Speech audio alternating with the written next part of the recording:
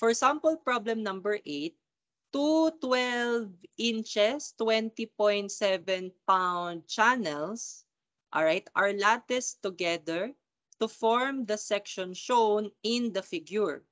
All right.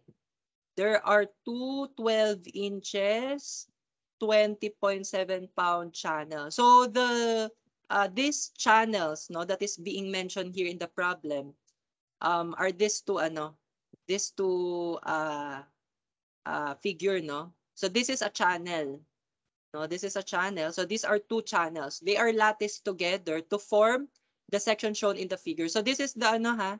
The the section all right of the two channels lat latticed together. All right so we are asked here to determine how far apart the channel should be placed so as to make I sub bar X equal to I sub bar Y for the section. Refer to the table. Neglect the lattice bars which are indicated by the dash line. So we are going to neglect this ano ha, dash lines here. Now this is actually the lattice bars no, where uh, these two channels are latticed together. No? So plus uh, from here, um, the data all right, for these channels, okay, is um is given here. No, so this is the table, no, uh, giving the data, all right, for um the channels, no, that we have here. So these are ano ha, two identical channels. No, these two uh, channels here, they are identical, and for each channel, all right. So this is the ano, the table. So this is a 12 inch, 20.7 pound channel. So here at the table, no, here is the ano 12 inches, 20.7 pound channel. So this is the ano ha, this is just for one piece of channel class ha.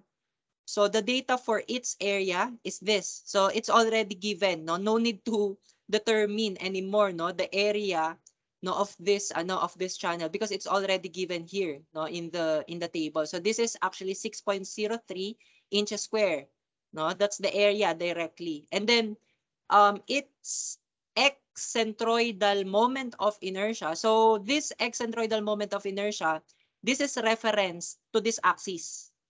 Okay this is the uh, excentroidal axis right for this channel. And then uh, its y centroidal axis is this. So this x centroidal moment of inertia and y centroidal moment of inertia they are reference to this axis x sub o and y sub o.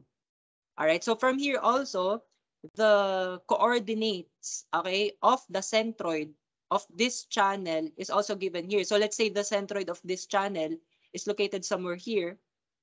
Okay, so um, its x bar, no, this x bar, this is measured from the left side, okay, of the channel. So this is x bar, and the x bar, the value of x bar is this, 0.70. By the way, the value of uh, x centroidal and y centroidal moment of inertia are 128.1 and 3.9. So the, the unit for this obviously is inches to the fourth ha, both for this and a moment of inertia.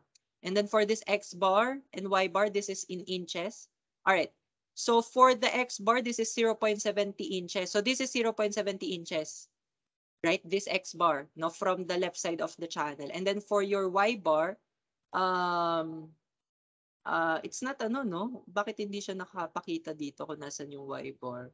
I mean, kung saan sinukat. Pero actually, ito naman din kasing Y-bar natin class pala. Ah, by the way, class yung Y-bar pala kasi natin class. No? Yung centroid kasi natin, di ba nandito?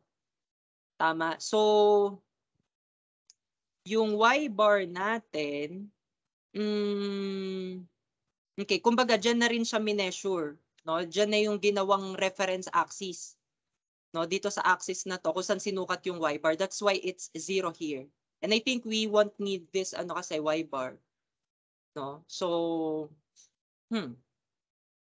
All right. Anyway sige sige. So from here class uh we can uh, go back to the ano to the problem no? Again uh, for this problem we are asked to determine how apart okay the channel should be placed as to make i sub bar x equal to i sub bar y. This is actually um, similar to the sample problem that we solved earlier, right? So the condition here, the i bar sub x should be equal to i bar sub y. So this is the moment of inertia of this ano ha, two channels combined together or lattice together. We are considering this composite ano, kumbaga figure. All right? And our reference axis for this two moment of inertia are this axis, this x sub o and this y sub o. All right, sige. So let's ano, let's start solving this class. So let's start uh, again uh, the the what we are going to determine here class is the distance d ha? the space between these two channels. So again we have this uh, condition that i bar sub x should be equal to i bar sub y. Okay, so let's start with ano, i bar sub x. So we are going to determine the moment of inertia of this composite figure, okay, or areas with respect to this x sub o.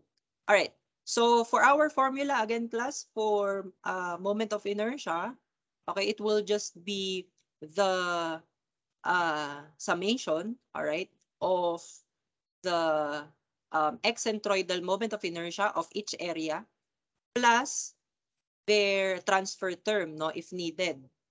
So in this case, okay, so let's first consider the, uh, let's say this ano, channel. So for this channel, its centroid is actually somewhere here, right? So for each piece, right, for each, uh, for each uh, channel, so the, the, the centroid is just at the, ano, no, at the center no, of this ano, channel. So uh, its ano, uh, centroid actually is somewhere here, right? But as you can see, the centroid actually coincides no, with the reference x sub o, right? So meaning um, there will be no um, distance d here class, no? So we don't need to add a transfer term here, as you can see, if you if we are going to get the uh, x centroidal moment of inertia of this channel. And again, class, the x centroidal moment of inertia of this channel is given here at the table.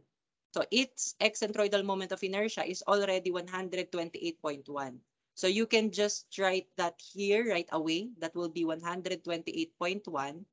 And then for its, uh, again, uh, transfer term, uh, there will be no distance d, right? There will be no distance d. Is that correct? Are you following that? There will be no distance d since your reference axis, right, is coinciding with the centroid, okay, of the channel that we're considering here.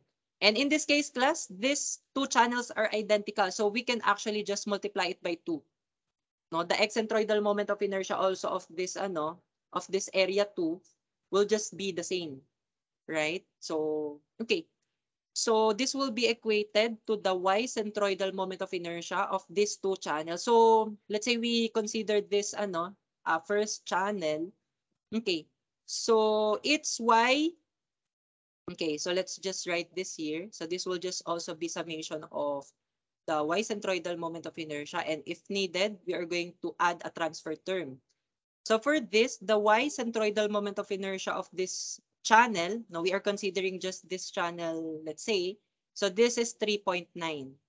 All right, so this is 3.9. And then, okay, um, our reference axis here, take note, is this axis, ha? Y centroidal axis. So for the centroid, okay, of this channel, let's say, okay, the, its centroid is somewhere here, located somewhere here. Class, there will be a distance d right? There will be a distance d for this. Uh, let's say this is distance 1, right? From the centroid of this channel going to the reference axis. So what will be this, this what will be this distance d? So class, this distance d will just be, uh, this distance is actually half of d, d over 2, right? This is distance d. This is the ano, the distance no between the two channel. Tama, the distance d. So this is just half, this distance right? And we have to add this distance.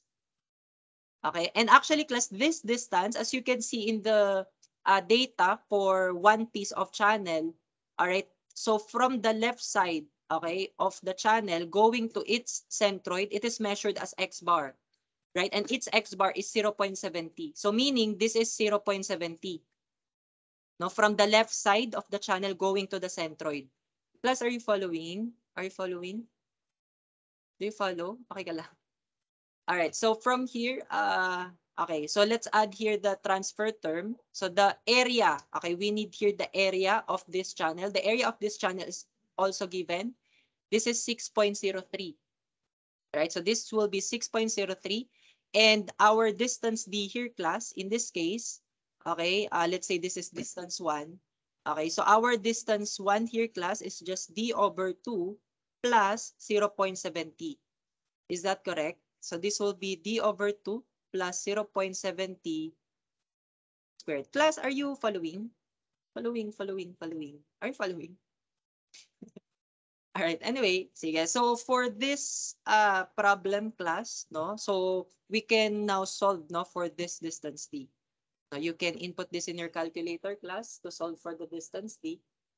So inputting this in your calculator, so this will be Ah, by the way, you have to multiply this also by 2 right? Because we have here two channels. No, the what we considered earlier is just this channel, right? So we also have to consider this. So we have to multiply it by two.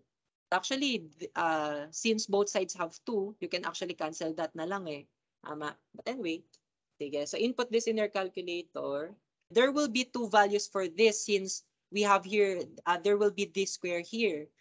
No, so the uh, answer or the for the there will be one positive answer and one negative answer. The negative answer is actually 10.47679. And then the positive one, so before you shift solve, no, input a positive value. And then before pressing equal, so press equal. So the positive answer here is 7.67679. Plus, were you able to get this in your calculator? All right. So again, class, if there are two values here, choose the logical one. So the logical here, class, is the positive ano, no, answer. Ah, by the way, don't forget the unit. The unit for this is inches. Inches. Okay, so this is already the answer for this.